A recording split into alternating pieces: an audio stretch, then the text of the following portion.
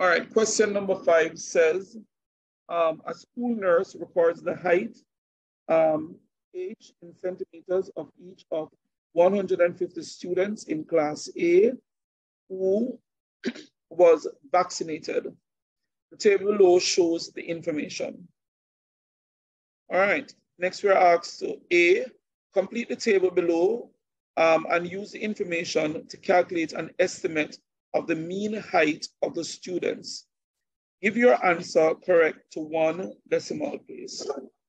All right, um, the first thing, so let's complete the diagram. Sorry, complete the table. To complete the table, we need the, um, the midpoint for the class.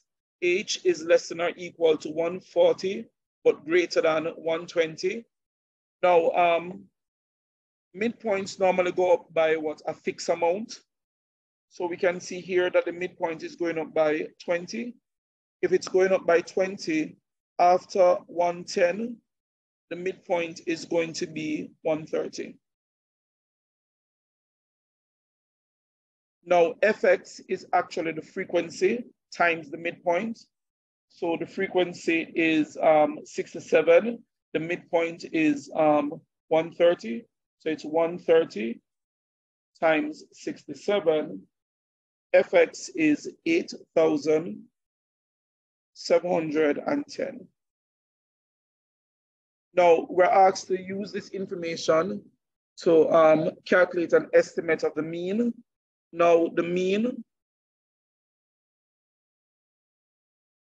symbol x bar is equal to the sum of fx divide by n. So we need the sum of fx. So let's find the sum of fx. All right, so we're gonna add up everything to the right.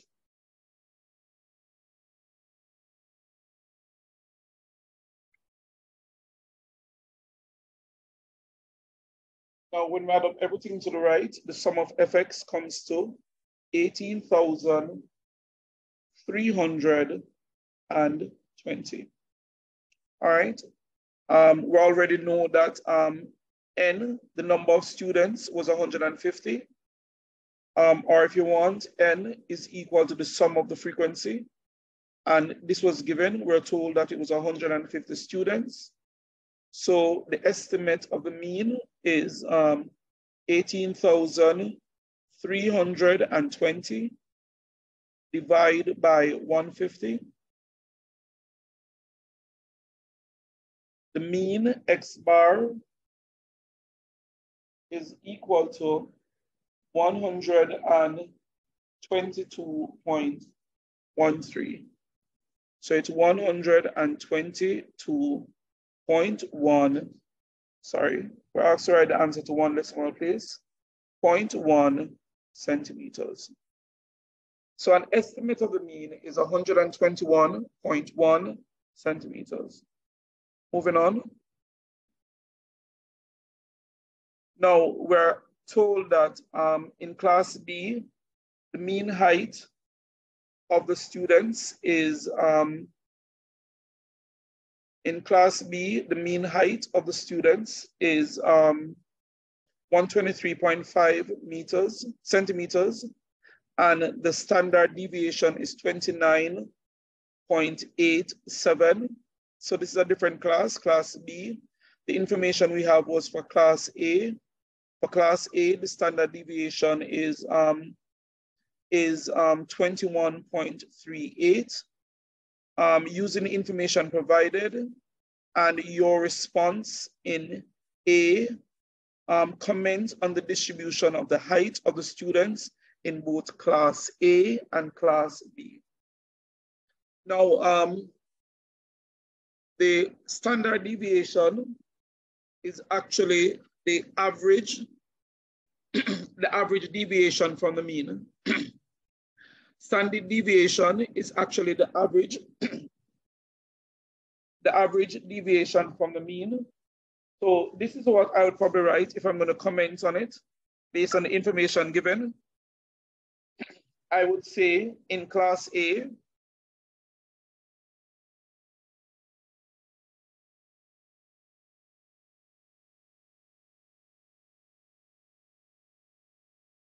average range of height,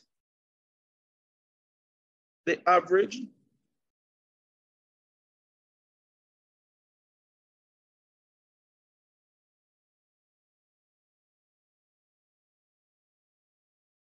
Range of height is um, class A is the one that we just calculate, 122.1 plus or minus the standard deviation for class A, which is what? 21.38 centimeters. All right. So what this is saying is that, what this is saying on average, um, um, in class A, the tallest person should be somewhere around from what? 122.1 plus 21.38. So the tallest person is roughly 143 centimeters or 143.5. So now, let me just comment on um, class B.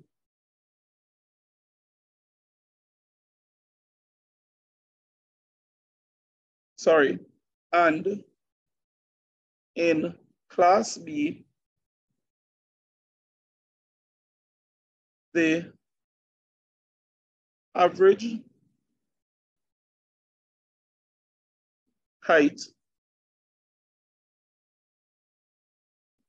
is, or the average range of height, the average range of height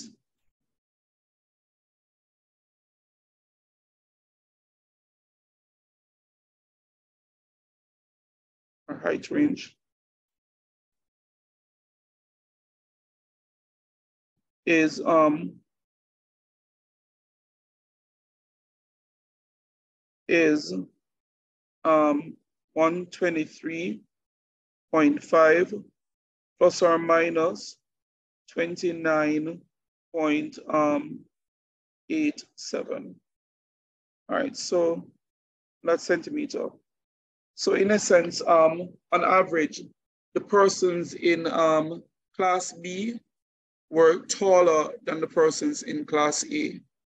On average, um, the persons in class B um, were, um, the, or the tallest person in class B is taller than the tallest person in class what A.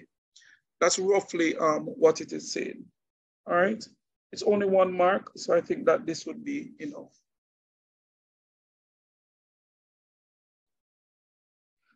All right, so the C part of question number five says, complete the cumulative frequency curve below.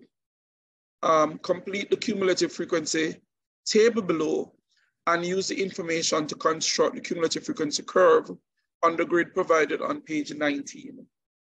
Now, um, so let's um, complete the table. Now, cumulative frequency means you're adding the frequency as you're going down.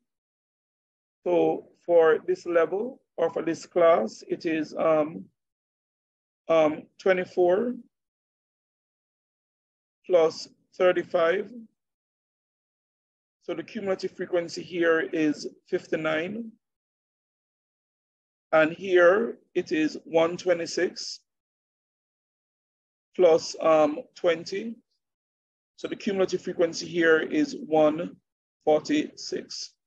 So the cumulative frequency is sort of a running total. It's sort of like a running, running total of the frequency. Um, you get cumulative frequency by adding the frequency as you go down. Now, um, we're going to use this information now to plot our cumulative frequency curve. Now, for cumulative frequency, um, you're going to use the what? The upper class boundary, the upper class boundary, and the cumulative frequency. So the next, um, so I think two of the points are missing. The two points which are missing, going back up, um, the point from here would be missing. So it's 120, which corresponds to um, the upper class boundary of 120 corresponds to a cumulative frequency of 59. So this is one point that is missing. and the upper class boundary of 160 corresponds to a cumulative frequency of 146. So we just need to put in these two points and then um, draw the cumulative frequency curve.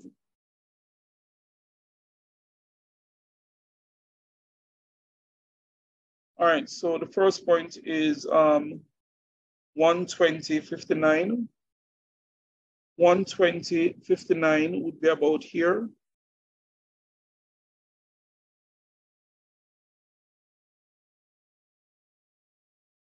And the next um, point is one um,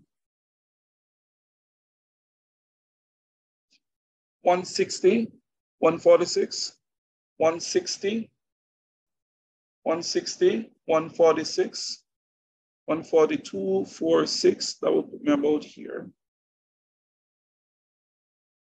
So the next thing I'll have to do now is to draw. All right, so I'm gonna make this small so I can see all the points as I draw.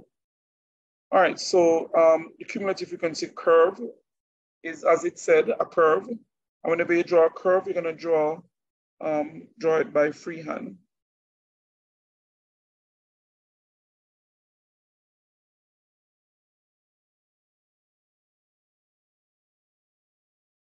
All right, being the perfectionist that I am, I'm not satisfied with that. So I'm gonna do it over.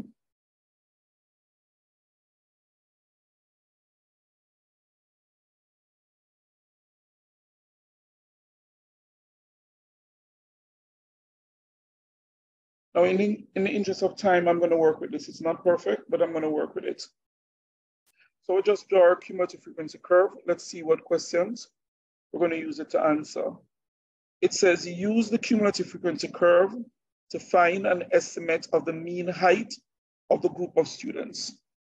Now, the mean, sorry, of the median height, sorry, not mean, median height of the group of students. Now, the median height would be the height of the student in the middle. There are a total of 150 students. The student, the student in the middle would be student number 75. Let's change the color.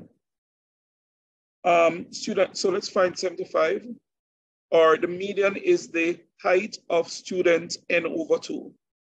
So n, which is 150 over two, would be 75. 75 is in the dead middle between 70 and 80. So at 75, I'm gonna draw a horizontal line across.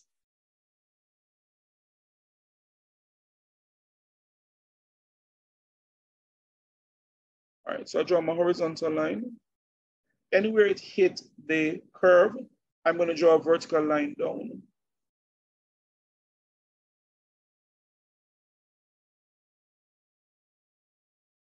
All right.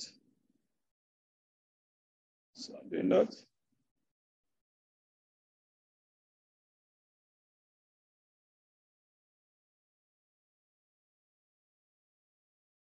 Get it accurately. Yep, that seems to be it. So whatever the value is down here, this is Q2, which is the median. So this is Q2, which is the median. So if you're reading this, this is 130. So down here, each is, is two. So this looks like it's 125 centimeters, 125 centimeters. So I would say that the median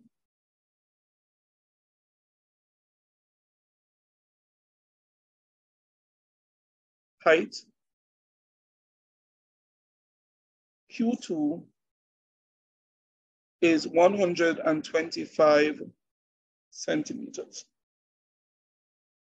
Next, we're asked um, to find the probability that a student chosen at random would be taller than 130. The probability that a student chosen at random would be taller than 130. So let's find 130 on our diagram. 130 on our diagram. I'm going to find 130 on the diagram and then I'm going to draw, draw a vertical line um, until it reaches the curve.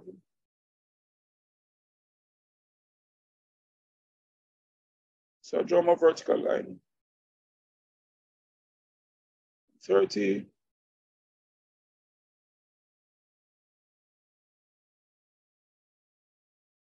All right, it looks as if it meets the line here. All right.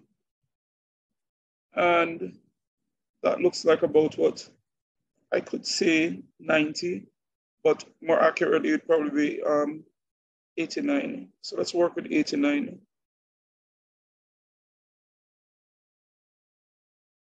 All right.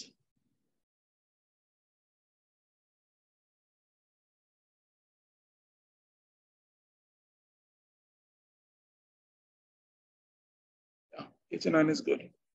All right, so um, to answer the question about the probability, so I have 89 here, so I'm gonna put 89th student.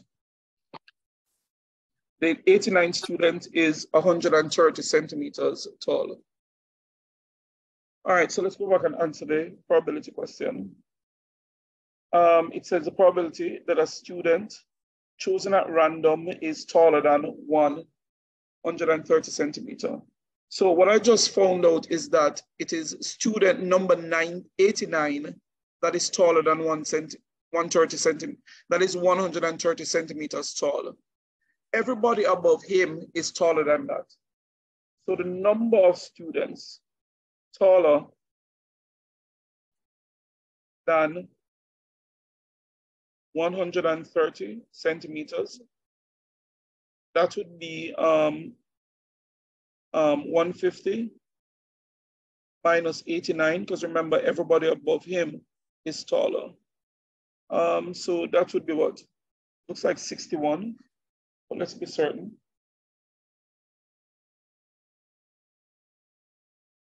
And I am correct, 61. So the probability now of being taller than um, 130 centimeter is actually 61 out of 150, which is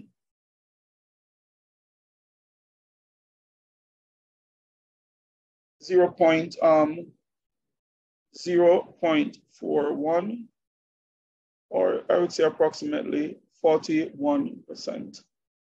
So there's a 41% chance that if you select someone at random that that person is going to be taller than um, 130 centimeters. All right, let's double check in. Yeah, that is the end of the question.